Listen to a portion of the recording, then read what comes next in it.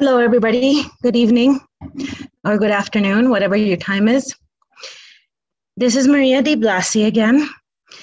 I am part of the Bridge to Health New Mexico. Today, we have what I consider one of the most important talks for us to go through. Um, today, we're going to talk about the real benefits of exercise. Now, there's a lot of benefits, and it's definitely not something that can be covered in half an hour. But I did break it up in sections, and we will be going through them relatively quickly. We only have half an hour of session today. But remember again, if you have any questions, put them down in the comments. Leave us your doubts leave us your questions. And um, if you need further comments or if there's anything else you would like to talk with us about, feel free to get in touch with us at our office on Bridge to Health, New Mexico, on 628 Riverside Drive in Española. You can drop by.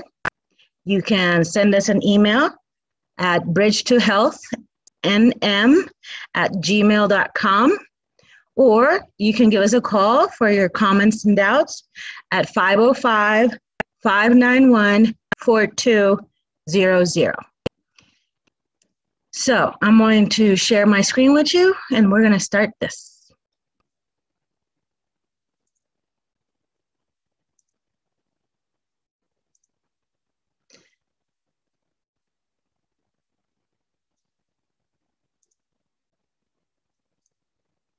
So, today we're going to be talking about the real benefits of exercise. So, there are many benefits to exercise, and like I said before, we can only cover a few of them, but we will be going through them in detail. So, first, what we need to do is we need to clarify what is exercise and what is physical activity and what the difference is. Now, the difference between physical activity and exercise is the structure that we go through with it. Exercise is a physical activity that is controlled, structured, and done with a goal of improving our health. Walking up the stairs is physical activity. Going to a spin class is exercise. Now, both are beneficial. Any kind of physical, physical activity is going to be wonderful for you. Even if it's only 30 minutes a day, it is proven that moving in any way, shape, or form is good for your health. Um, another thing that we need to keep in mind is any kind of movement that is done during the day does not have to be at a specific time. Um, it is usually better when we do it in the morning because all the benefits of it, you'll see further ahead when we talk about energy and all that, um, lasts you longer. But as long as you're being physically active and as long as you're act- exercising, it doesn't matter really.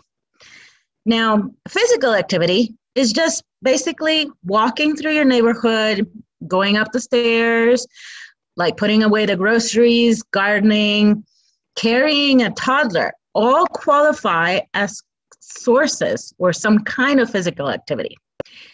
Any form of energy expenditure, in other words, movement, can be classified as physical activity.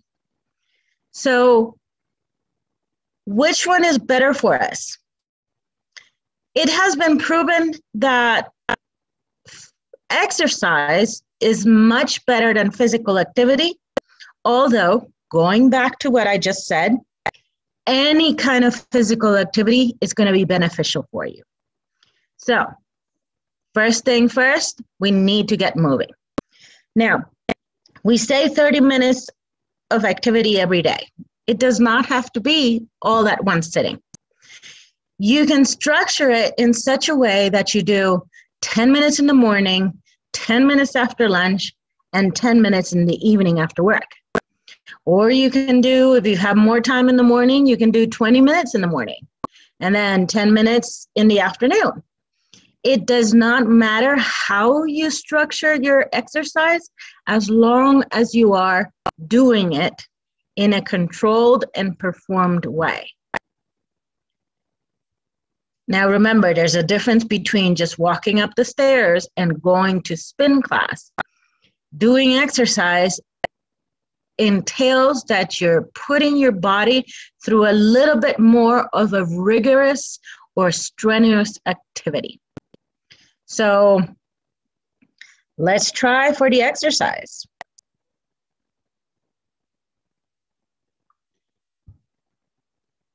Now, again, whatever gets you moving, any physical activity is a step towards better health.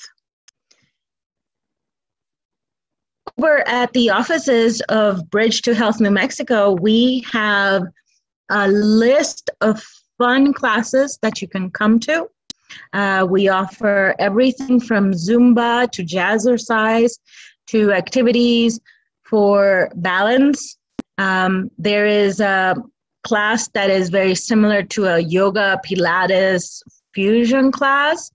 Feel free to drop by or look us up online. Um, even call us up and we'll gladly give you a list of the classes that you can attend we have all different kinds of packets that you can opt for. And um, if you have medical insurance, most medical insurances can and will cover the exercise that you want. So, being physically active is one of the most important actions a person can take to improve their health.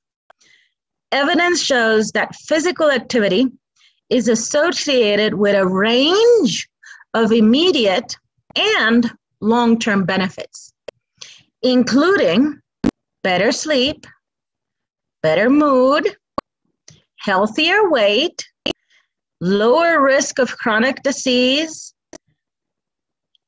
and the prevention of a really, really long list of chronic diseases that are very hard to treat medically. When you incorporate a combination of aerobic, muscle strengthening, and bone straightening activities into a weekly routine, it ensures that everybody is building endurance, strength, balance, and flexibility. We need all of these to keep our bodies working. Remember, our bodies, think of our bodies as a machine. If a machine is set to sit there for a long time, what happens to all machines? They they lose their functions. They start when it, a machine is inactive for a long time, a lot of their parts start breaking down or they get rusty. On the other hand, if you're using a machine, it stays in better conditions. And if there's something that's not working right, it is a lot easier to realize it than a machine that's been sitting in the back of the corner of your house for months or years. Everyone, from children and adolescents to adults and seniors, benefit from consistent weekly physical activity. Let me repeat that. Everyone benefits from consistent weekly physical activity. Now, the type, the intensity, the duration, and the amount of physical activity necessary varies from age, comfort, and ability level. Everybody needs, everybody has different needs. And that is also part of exercise. Sometimes you'll need a little bit more aerobic exercises. Sometimes you'll need a little bit more of muscle strength. Some people need to build more endurance. It depends on your body, it depends on your need, it depends on your sex and your age. We'll get into that, but you need to consider that when starting a new activity. And as always, it is important to keep in mind that whenever you're going to start a new physical activity, it is very important for you to consult your medical provider and talk to them about what you're thinking about, and they'll be able to guide you as to what you need and what would be best that adapts to those needs. So, what are the health benefits of physical activity? We talked about immediate and we talked about long term.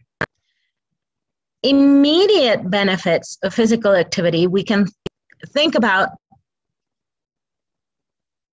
sleep, improve sleep right away, anxiety and mood, they, you feel less anxiety, you have less prone to depression, and you're also feeling happier. It improves your blood pressure by reducing it.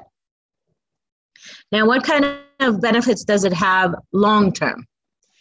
Regular activity provides very, very important health benefits for chronic disease prevention. We mentioned this already. It improves your brain health. How? It reduces the risk of developing dementia, including Alzheimer's, and reduces the risk of depression. It helps with your heart health. How? It lowers the risks of heart disease, stroke, and type 2 diabetes. It also helps with cancer prevention. It lowers the risks of at least eight cancers, talking about bladder, breast, colon, endometrium, esophagus, kidney, lung, and stomach at least. It helps you keep a healthy weight, might even reduce the risk of weight gain, and sometimes, alongside with a good diet, it helps you lose weight. We'll see this further along. It also improves bone strength. It improves the health of your bones. You'll see exercise helps your bone combat osteoporosis and a lot of the bone problems that are caused by having brittle bones. And of course, it helps you with balance and coordination, which on the long run reduces the risks of falls. Now, these like I said, are only a few. We can talk for much longer than half an hour, which I think we will in the next session, about the benefits of um, exercise. So let's go over, I mean, we're going to go over them very superficially today. So, how much physical activity do I need to experience health benefits? So, older adults meaning 65 and older, for them, it makes it easier to perform daily tasks. For example, eating, bathing, toileting, dressing, even moving around the house. Remember again, always consult with your doctor or physician before starting any physical activity. Per week, older adults should aim for 150 to 300 minutes of low to moderate intensity physical activity. That includes aerobic activity, bone and muscle strengthening activities. Think about a jazzercise class. Think about a very small amount of weight training that'll help you strengthen your muscles and your bone. Aerobic activity builds endurance and keeps weight at a healthy level, while strengthening the lower body and the core can help prevent falls and injuries. Now, what about adults 18 to 65? Adults should aim for about pretty much the same amount of time 150 to 300 minutes a week, but it should be of moderate activity. In general, adults should sit less and move more, avoiding long periods of inactivity when possible. Everybody's heard about the new fame uh, where people are starting to incorporate um, standing desks in their office. This is one of the reasons. When you're standing, you're a little bit more physical active than when you're sitting. Think about that. So when you're in your office, how much can you do standing up? How much can you move around? Even if it's 10 minutes before your lunch break or during your lunch break um, of you running around the office, it helps. For active adults, health benefits include the accrue of those exceeding 300 minutes per week of moderate physical activity. Additionally, adults should do muscle strengthening activities twice a week and try to engage all of the major muscle groups. What does this mean? It means the older we become, the more we need to incorporate aerobic activity. And the younger we are, or I'm going to say 18 to 65, remember, adult, adults, we need more of a moderate activity. We need something that's going to keep us just slightly more active.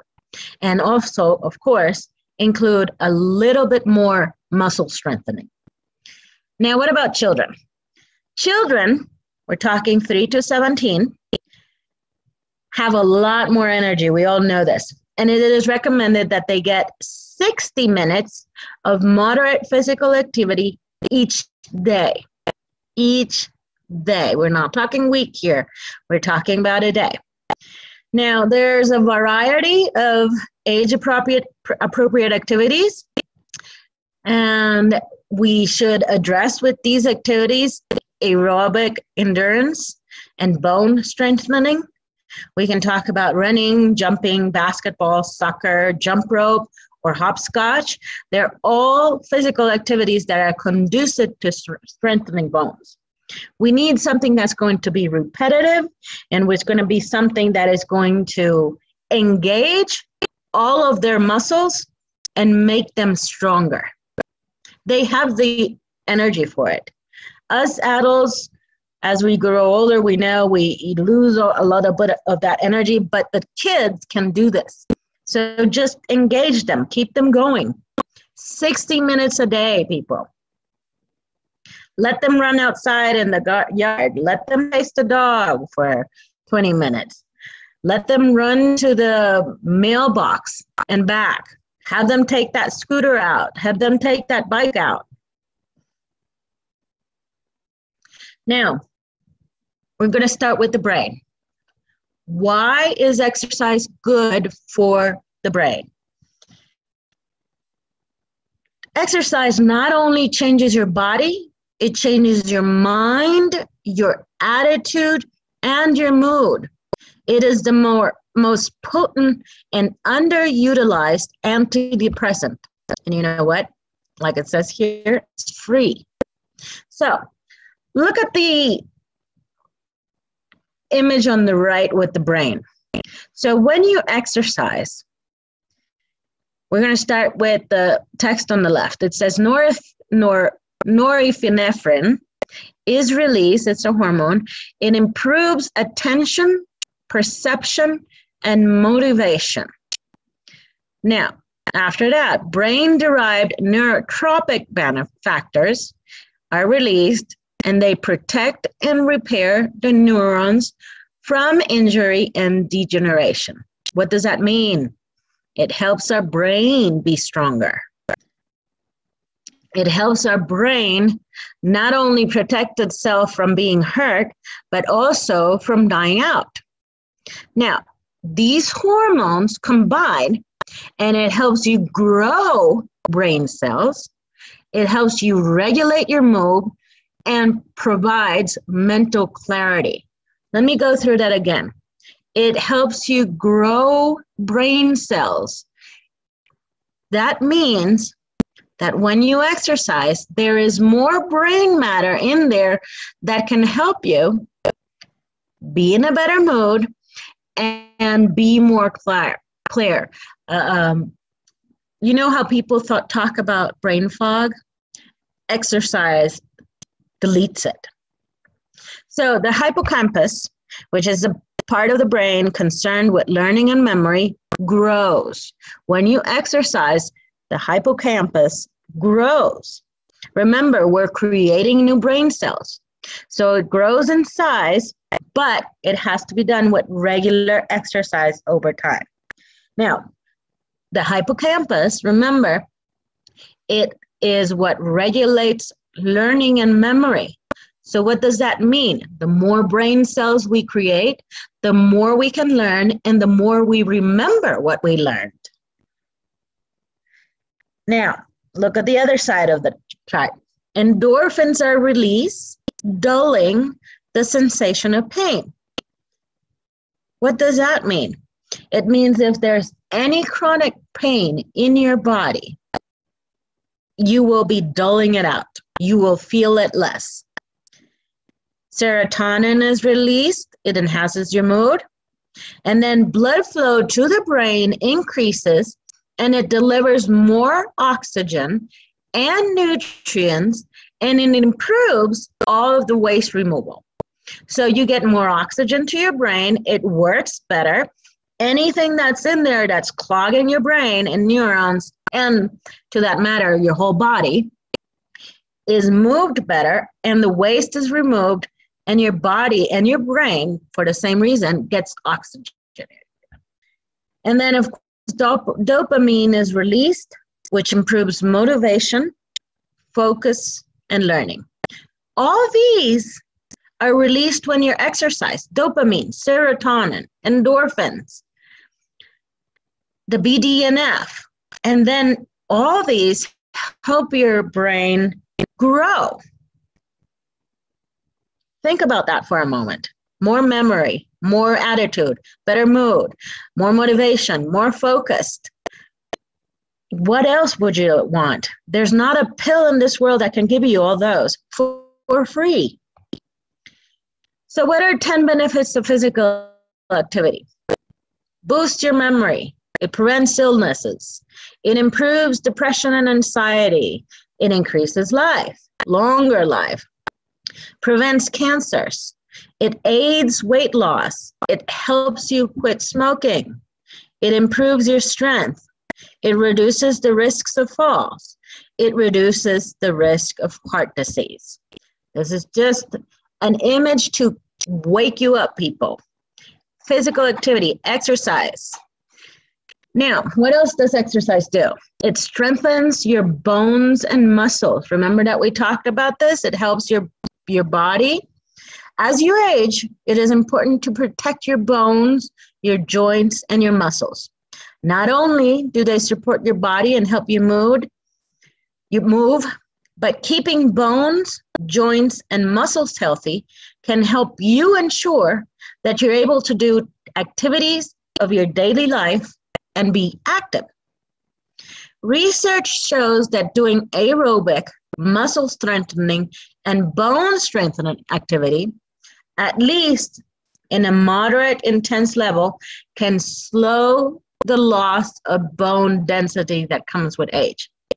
So it doesn't only strengthen your muscles, it strengthens your bones. The density, they get stronger and thicker.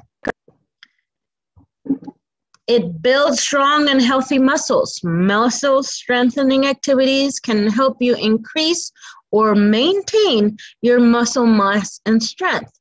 Slowly increasing the amount of weight and number of repetitions you do will give you even more benefits, no matter your age. Remember, the more muscle mass we have, the less fat mass we have, which means we're going to be more active, we're going to burn more calories faster, and we're going to be able to lose, maintain, or stay healthy for a longer time. Benefits of exercise on skin and hair. This is, I'm going to say, it can be superficial, but it doesn't. There is a way of free, natural, easy way that you can get glowing skin and stay beautiful. And it starts with an E.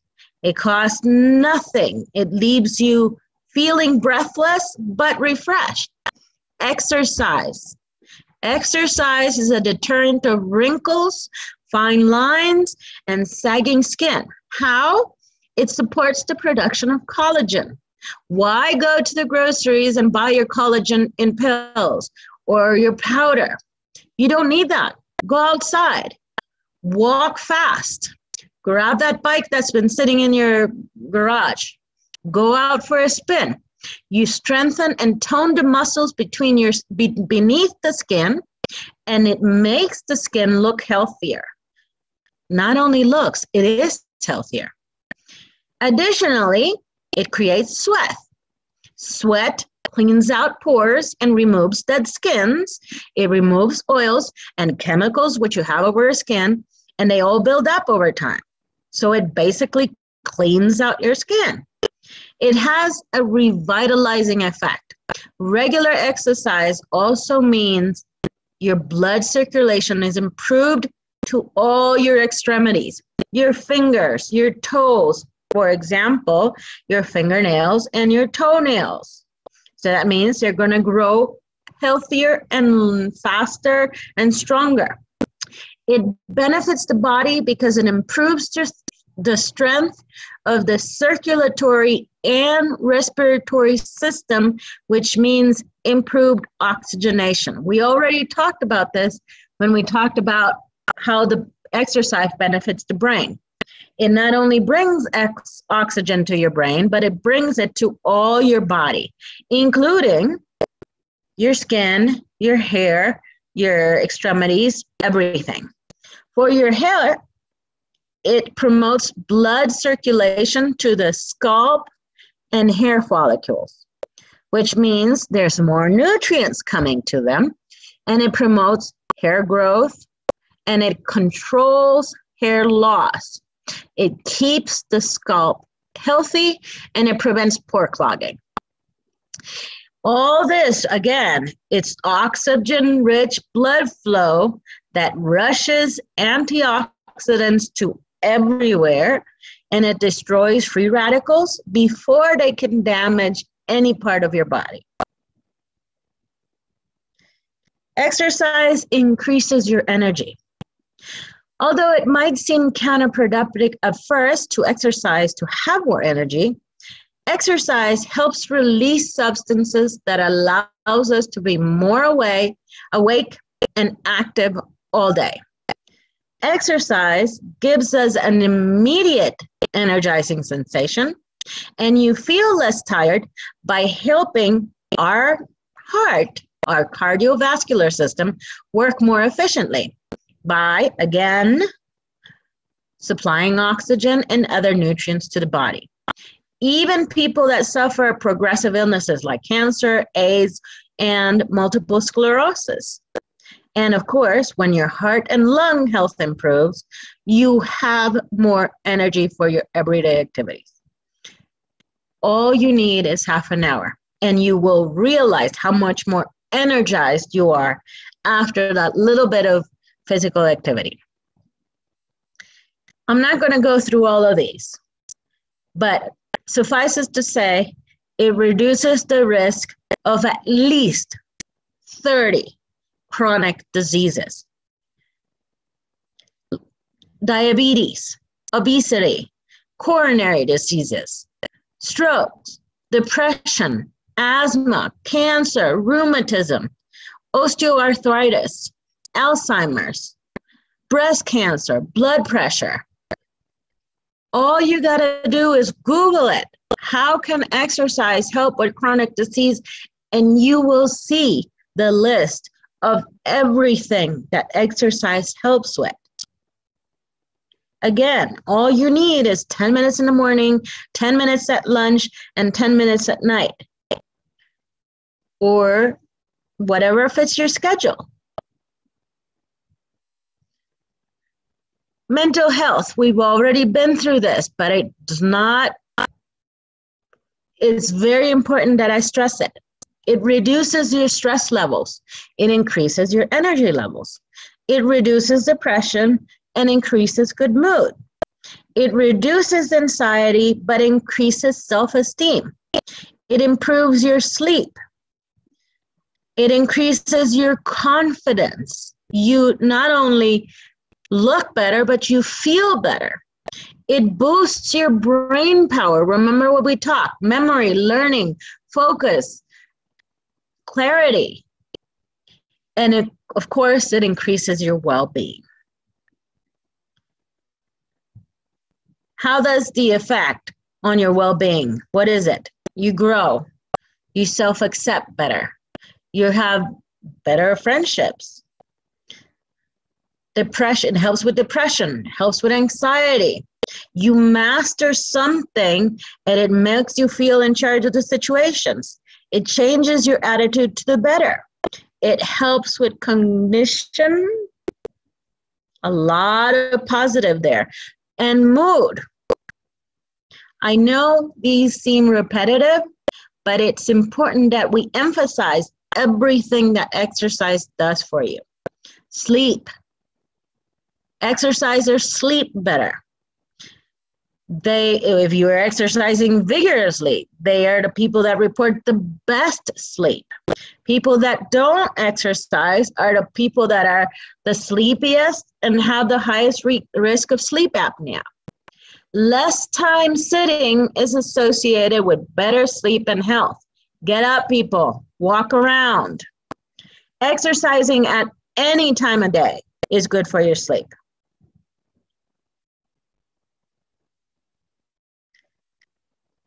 And of course, it helps you lose weight. Now, don't expect exercise to be the magical pill when you're trying to lose what? It's not. You need to be able to combine it with a good portion size, with cutting down your carbs. Um, you need to do exercises like running, swimming, walking, and of course, weight training. Remember, the more physical activity we do, it increases the number of calorie your body uses. So you burn off these calories. Again, physical activity increases the number of calories your body uses for energy or burns off. The burning of calories through physical activity combined with reducing the number of calories you eat creates a caloric deficit, which results in weight loss.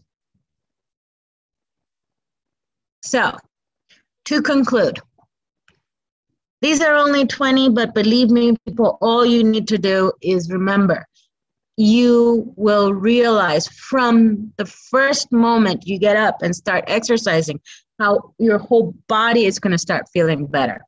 Sleep, mood, brain activity, bones, muscles, body fat reduces. It's going to increase your life. It's going to help you manage your pain. It's going to ward off viruses and chronic diseases. It's going to strengthen your heart.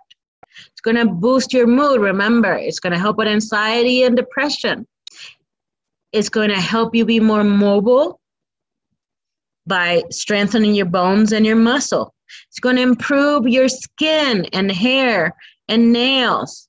It's going to help your body detoxify. It boosts your immune system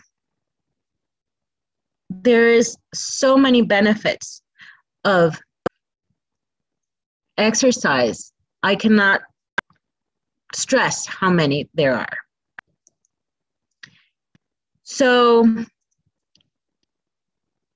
we will be going on to this again in the next session.